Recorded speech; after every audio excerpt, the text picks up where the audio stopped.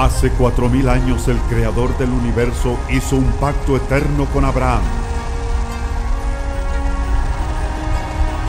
Toda la tierra, desde el Éufrates hasta el Nilo, pertenece a los hijos de Israel. Ondas de choque sacudirán la tierra cuando el cielo descienda para cumplir esa promesa. Shalom, soy Michael Root, fuera de los muros de la antigua ciudad de Jerusalén. En esta serie nos hemos unido al grupo del Tour de un rudo despertar a Israel en la vista de la paz, mirando el mar de Galilea. Al final de un largo día de escalar ruinas arqueológicas de relevancia y compartir los registros de las escrituras que desarrollan el contexto, estamos listos para la prominente enseñanza de Yahshua que ocurrió en algún lugar en esta área. En este episodio final de esta serie de tres partes, el sermón que pocos quieren oír, nos adentramos en el mensaje que Yahshua dio a la menguante multitud de seguidores que deseaban la verdad lo suficiente como para dejar atrás el confort de la soleada playa y seguir el sendero inseguro del lado de la montaña donde el Mesías esperaba a aquellos que hicieron una exhaustiva jornada. Empezaremos burlándonos un poquito de algunas de las prácticas y tradiciones que hemos desarrollado en el mundo cristiano occidental pero es con el espíritu de reconocimiento de que todos tenemos mucho que aprender y olvidar si hemos de obtener una perspectiva acertada de la Biblia y de cómo nos afecta hoy. Ahora, la conclusión de mi versión del eterno mensaje de Yeshua, el sermón que pocos querían oír.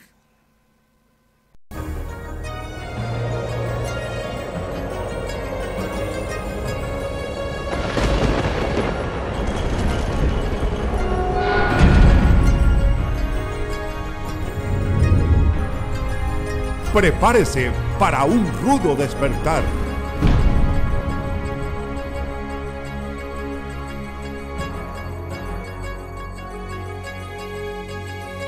Con ustedes, Michael Root.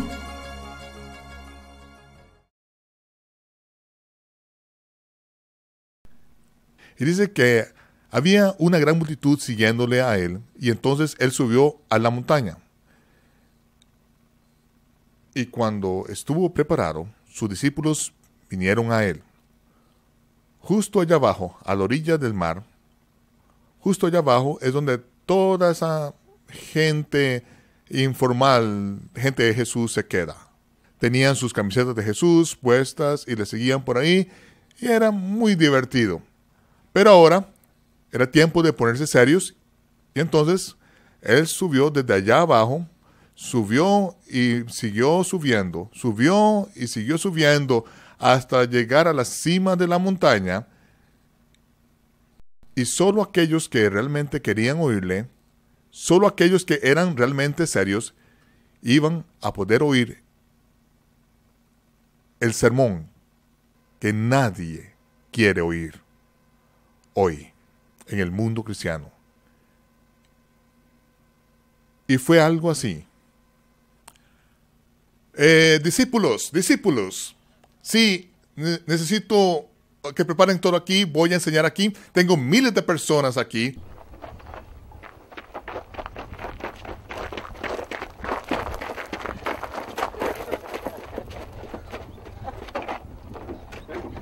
Ah, yeah, yeah, that's good. That's good.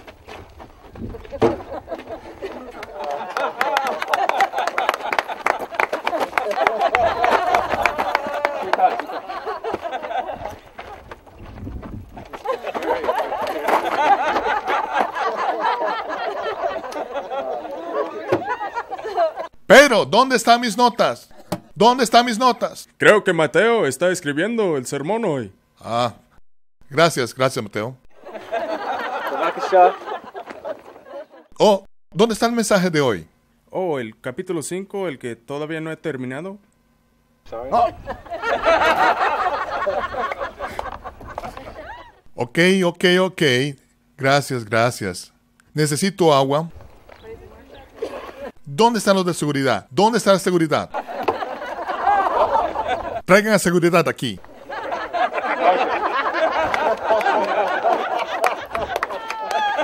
Vigilen a esta gente. Si alguno se mueve hacia mí, sáquenle. Okay.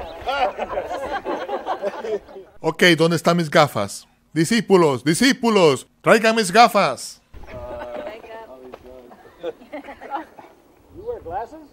Judith las tiene, las tiene Judith. ¿Son estos bifocales?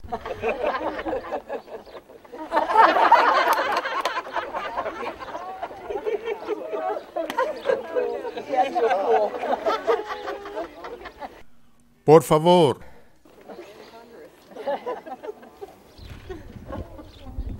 Capítulo 5, Mateo, gracias.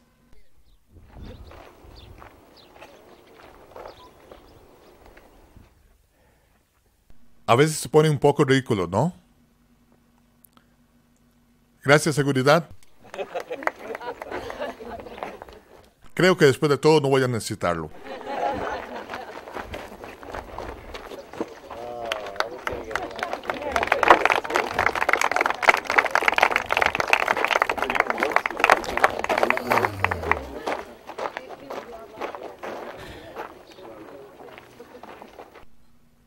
Entonces, cuando estaba preparado, sus discípulos, esos que realmente querían oírle, vinieron a él.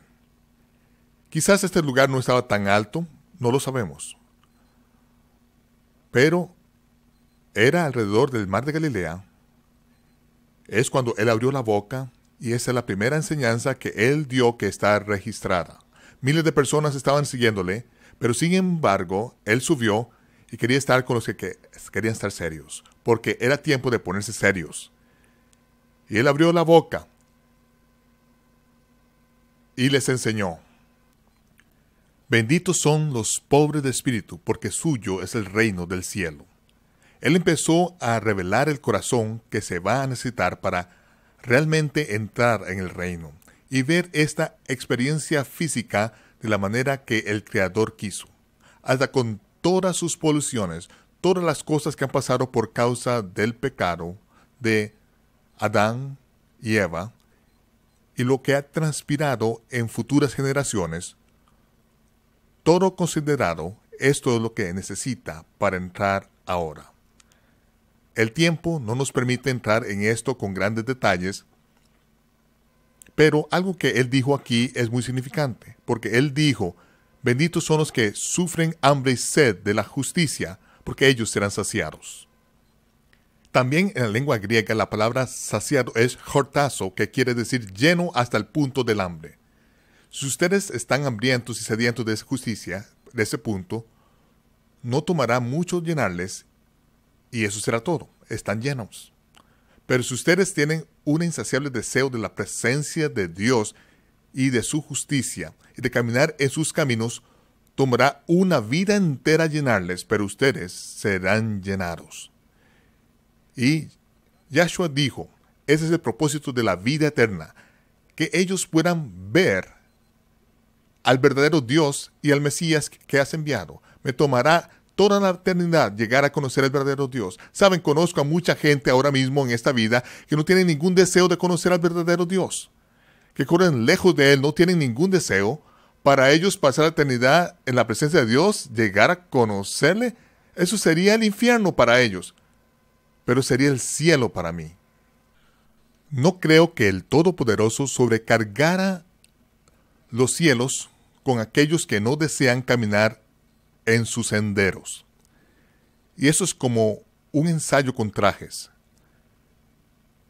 Si ustedes están hambrientos y sedientos de justicia, serán saciados. Esta enseñanza nunca, nunca se enseña en las iglesias. ¿Por qué? Porque va a través de muchos capítulos, capítulos registrados y no caben los 20 minutos que están designados para un sermón, en algunos lugares 40 minutos, pero eso es todo. Él no podía darlo en ese tiempo, no se puede leer en ese tiempo. Y vamos a resumir esto de la manera que él lo hizo porque en este primer mensaje, la primera vez que él estuvo con sus discípulos y todos estos seguidores, quiso dejarles algo muy claro la primera vez y dijo, y dijo, no piensen ni por un minuto que nada de lo que van a oír, nada de lo que nadie dice de mí, ahora o en el futuro, que ni siquiera les pase por la mente por un momento que yo he venido a destruir la Torah o los profetas. Déjeme ponerlo claro desde el principio. ¿Me oyen? ¿Y sus discípulos respondieron? ¿Y sus discípulos respondieron? Y él dijo de nuevo, el Señor dijo, ¿me oyen? Quiero asegurarme de que nunca nadie confunde esto por los siguientes dos mil años hasta que yo regrese. No dejen que nadie les engañe en pensar que he venido a destruir la Torah o los profetas. No he venido a destruir, sino a cumplir. Y cumplir no significa terminar, significa llenar, dar significado pleno, interpretar, mostrar el corazón de.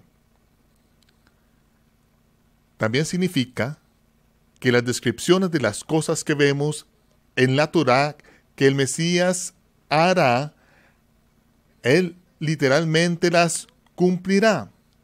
Él sea el cumplimiento de esas cosas. Realmente les digo, hasta que el cielo y la tierra pasen, ni un punto, ni una yot que, florecen en la Torah no se borrarán de la Torah hasta que todo se cumpla. Déjenme preguntarles, ¿ha pasado los cielos y la tierra? Ok, bueno, fíjense bien. Asegúrense antes de hacer una declaración precipitada. Hasta para el observador casual vemos que los cielos y la tierra todavía están aquí. ¿Se ha cumplido todo? Esperen, paren, antes de que ni siquiera pensar en susurrar tal cosa. Regresemos a lo que acabamos de leer en el libro de Isaías. Porque Él cerró el libro. Él vino la primera vez como el siervo sufriente, a sanar a los enfermos, sanar a los leprosos, resucitar a los muertos, a predicar el año aceptable del Señor. Cuando los gentiles vinieron a Él por sanidad, Él les dijo, no, olvídense, no he sido enviado más que para las ovejas perdidas de la casa de Israel. Y cuando el gentil persistió, bueno, Señor, hasta los perros comen los pedazos que caen de la mesa al suelo. Él dijo, ok, es suyo, lo tiene, lo tiene. ¿Saben? Si tienen cierta humildad, es todo lo que se necesita, un poco de humildad y es suyo. A ella no le dio las obras, le dio todo. La sanidad estaba ahí. ¿Se ha cumplido todo? No, él cerró el libro, no leyó más porque el día de la venganza de nuestro Dios, el conquistador, rey reinante, ese tiempo no ha llegado. La mitad de la fiesta del Señor habla del Mesías viniendo como el siervo sufriente, la otra mitad del rey reinante. ¿Se ha cumplido el rey reinante? No. ¿Se ha cancelado la Torah? No. ¿Ha pasado los cielos y la tierra? No. Ahora, se va a poner fuerte. Cualquiera que rompa uno de los mandamientos menores de la Torah, eso es lo que él está hablando. Ese es el contexto. Uno de esos mandamientos menores y enseñe a los hombres a romper estos mandamientos. ¿Qué mandamientos? ¿En relación a qué? Estos mandamientos, ¿de qué mandamientos está hablando? La Torah uno de los mandamientos menores de la Torah, esos que enseñan, sea llamado reverendo menor, pastor menor, será llamado menor en el reino del cielo. Ahora, menor es un término relativo, ¿verdad? Menor. ¿Saben? Estábamos en el kibbutz de en Gef, donde nos estábamos quedando, y cuando nos estábamos subiendo en el tren anoche, miramos a nuestro lado derecho cuando empezamos el tour y él apuntó al ganado bovino del lado derecho. Y yo tengo bastante experiencia con, con ganado. trabajé en granjas varios años cuando era joven y quizás entiendan esto. ¿Cuál es el menor importancia de esos productos bovinos? Filet mignon, chuleta, tibón, hamburguesa y boñiga de vaca.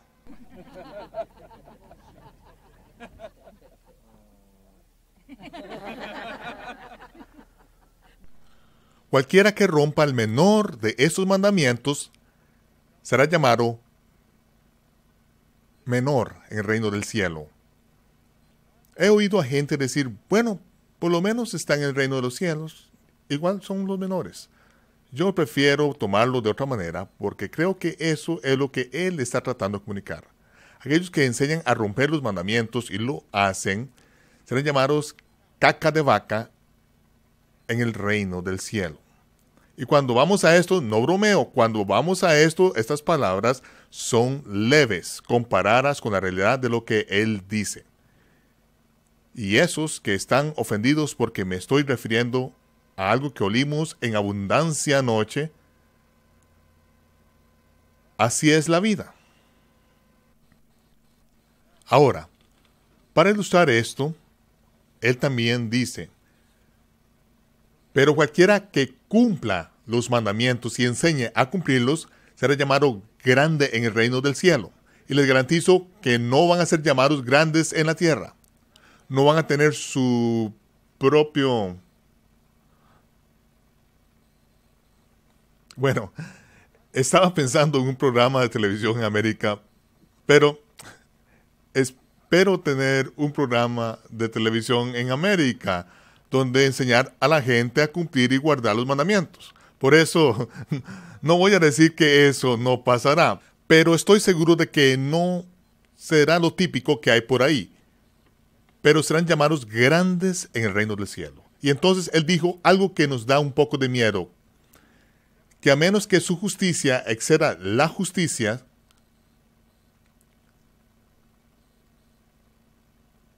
las arañas tienen que comer. Por favor, Doc. Gracias. A menos que su justicia exceda la justicia de los escribas y de los fariseos, de ninguna manera entrarán en el reino del cielo. Ahora, eso da miedo porque de los dos grupos de gente que él ha escogido, los escribas todas sus vidas fueron entrenados para escribir la palabra de Dios, a no hacer ningún error cuando copian las escrituras palabra por palabra línea por línea, página por página. Y eran disciplinados en eso todas sus vidas. Los fariseos no solo trataban de guardar los mandamientos, sino que hacían toda clase de reglas y regulaciones a través de lo que trataban de expresar su fe o su compromiso a Dios. Ya saben, no están hablando de novatos recién salidos del seminario teológico. Está hablando de gente que han dedicado sus vidas, pero él dice que de alguna forma no lo capta y ellos ni siquiera saben. Eso es espantoso. Yo sé que toda la cristiandad de América está basada en tratar de hacerles sentirse bien y asegurarles que están en donde deben de estar y que si nada más se sientan ahí, se callan la boca y siguen dando su 10%, eso si lo hacen todos los domingos por el resto de sus vidas, entonces escaparán de las llamas del infierno. Pero yo no veo al Señor dando mucha seguridad reconfortante. Él está retándonos a elevarnos a un nivel más alto, a salir de las tierras bajas donde los cerdos corren en el agua y subir a lo alto de la montaña. Esta enseñanza